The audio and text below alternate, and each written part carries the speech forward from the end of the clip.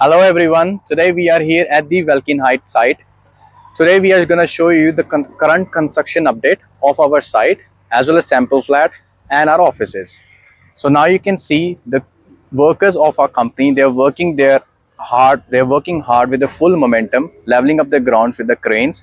And on the next you can see our sample offices which is going to get ready in next three months and a sample flat which is 4 BHK constructed in 4765 square feet area.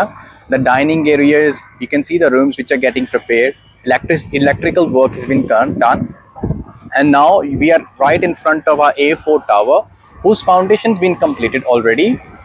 After that A5 tower as you can see on the left the foundation is still under construction.